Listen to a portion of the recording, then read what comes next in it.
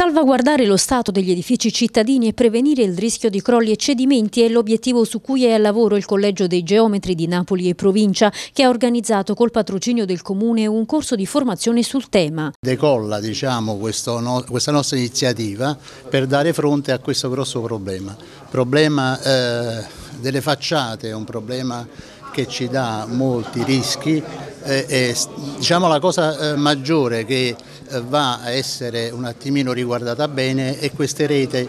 reti che mettiamo alle, per fronteggiare queste cadute. Quindi daremo queste tre giornate di corso per dare dei suggerimenti ai nostri colleghi affinché si possa fare qualcosa di meglio. Una mappatura della città deve essere fatta laddove andremo a eh, fare delle microzone con delle zone più a rischio e quelle zone meno a rischio. Una scheda di vita del fabbricato deve starci, deve esserci eh, una ripresa delle facciate eh, a tempo, eh, un decennio, un quindicennio, bisogna farlo. L'iniziativa presentata questa mattina in sala giunta con il sindaco Luigi De Magistris e l'assessore Ciro Borriello è stata l'occasione per illustrare azioni e proposte del Comune sulla messa in sicurezza degli edifici e sulla loro conservazione. A tal fine, ha annunciato il sindaco De Magistris, entro la fine dell'estate sarà approvata e presentata alla città la delibera sicurezza bene comune. Un lavoro strategico che sta facendo il Comune di Napoli con la città metropolitana, cioè quello di approvare una delibera che si chiamerà sicurezza bene comune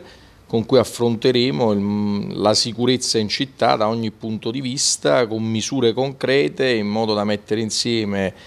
cooperazione istituzionale, lavoro sull'edilizia privata e pubblica, strumenti amministrativi, strumenti finanziari e contiamo entro la fine dell'estate di approvarla perché siamo già in una fase molto, molto avanzata. Dobbiamo iniziare ad avere anche una mappatura appunto dei rischi in città, logicamente sono più concentrati nel centro storico, ma anche nei centri storici periferici esistono delle situazioni di difficoltà, una mappatura certo dei condomini privati perché resta comunque un fatto privatistico, ma comunque eh, ci sono delle responsabilità a cui noi non possiamo sottrarci. È chiaro che è venuto il tempo in cui non possiamo più accontentarci di semplici dichiarazioni, ma come dire instaurare con i condomini un dialogo sempre più serrato. Questo questo per avere sempre la sicurezza appunto degli edifici e soprattutto la sicurezza dei cittadini.